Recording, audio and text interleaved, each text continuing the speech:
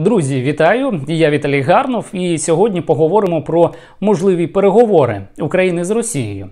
Будь-яка війна рано чи пізно закінчиться. Стрімке звільнення Харківщини та Херсону, і в цілому поразки РФ цієї осені, як військові, так і геополітичні, все частіше змушують Росію порушувати тему мирних переговорів. Про це рано чи пізно доведеться говорити. Тож давайте спробуємо зробити це зараз. А знаєте, якими мають бути шляхи до переговорів? Сторони перестають стріляти і сідають за стіл. Але наш сусід бачить цей світ інакше. Путін після програшів на фронті атакує цивільну інфраструктуру, позбавляючи мільйони людей світла, тепла і води. І в цей же час він заявляє світові, що хоче миру, але з ним, таким голубом миру, хочуть розмовляти далеко не всі той стороны нет даже желания с нами разговаривать. Ну, мы подождем, может быть, созреют какие-то необходимые условия, а наша добрая воля известна. А важливо, переговори нам росіяни пропонують з урахуванням реалій на полі бою. Розшифровую, це значить, що РФ розраховує зберігти за собою як мінімум вже окуповані території. А ось ще декілька місяців тому Путін говорив зовсім інакше.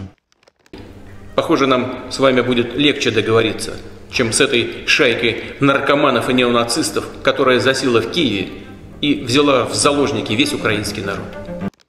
Ну що ж, продовжуємо цей випуск майже без світла. Що мої наркомани неонацисти? Бачите, до чого довели діда з Кремля? А якщо серйозно, ситуація на фронті і санкції змушують тепер більш виважено підбирати слова. Про переговори як єдиний спосіб припинення війни останнім часом багато писала західна преса. Сміливістю України захоплюються, але більшість аналітиків не бачать остаточної військової перемоги за нами. Головні аргументи звучать приблизно ось так: РФ має величезний мобілізаційний ресурс, і Путін готовий кинути в цю м'ясорубку сотні тисяч своїх громадян, щоб тільки уникнути повної поразки. Війна насправді може тривати місяці, а потенційно і роки. І в цей час Україна потребуватиме щомісячно мільярди доларів економічної, а головне військової підтримки. До такого ходу подій готові, можливо, не всі наші західні партнери. Ну і третій аргумент аналітиків: Росія має ядерну спроможність, і це не треба списувати з рахунків. Вся ця історія з тим, що Україну можуть підштовхувати до переговорів, набрала обертів після публікації в Wall Street Journal.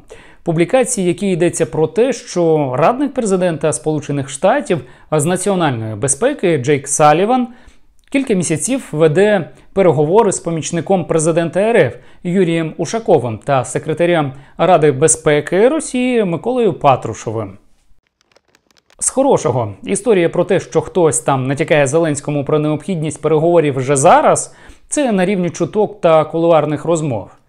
Що по фактам, позиція наших ключових союзників, а зокрема Сполучених Штатів, Британії та ЄС, дуже чітка і позитивна для України.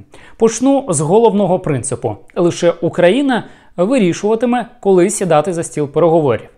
Другий принцип ніяке рішення про мир неможливо без відновлення територіального суверенітету України. І третій підтримка України буде тривати стільки, скільки потрібно, щоб вона, Україна, за будь-яких е, за будь-яким столом переговорів мала якомога сильнішу позицію.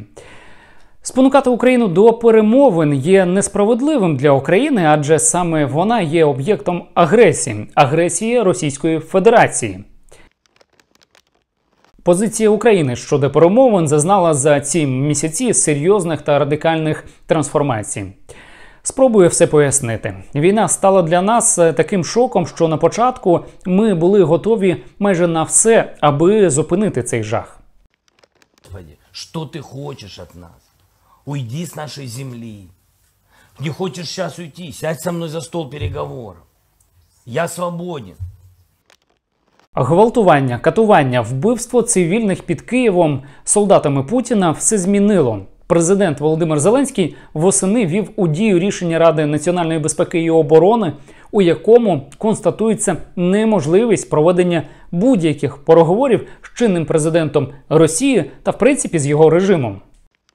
Ми будемо готові говорити з Росією, але вже з іншою Росією, яка готова, реально готова до миру, готова визнати, що вони окупанти, і готові відшкодувати нашим людям. Це питання не грошей. Все треба повернути. Землю, права, свободи, гроші, а найголовніше справедливість.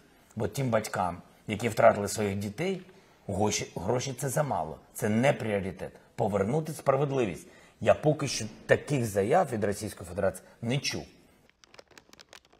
Ось такі мінімальні умови, які були озвучені та не раз повторені, в тому числі під час останнього виступу від імені України на саміті Великої Двадцятки. Тепер давайте спробуємо відповісти на головне питання: чому Україна саме зараз не хоче переговорів? Перше і головне, Росія не потребує миру, їй потрібна пауза в вигляді переговорів. Вона хоче використати цей тайм-аут для відновлення сил. Її армія перебуває зараз у найважкому стані за всю історію, мабуть, е, взагалі.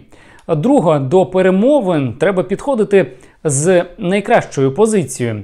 І ця позиція формується ось прямо зараз. Доки РФ бракує солдатів і вона навчає мобілізованих, ми вже звільнюємо нашу землю. І третє, будь-яка пауза зараз зменшує міжнародну інформаційну увагу до війни. Це на руку Росії в першу чергу і смертельно небезпечно для нас. Дякую, друзі. Якщо вам було цікаво, підпишіться на мій канал та тисніть лайк. А ще можете написати в коментарях, чи вірите ви в можливі переговори України з РФ. Я Віталій Гарнов. Любіть Україну, і ми обов'язково переможемо.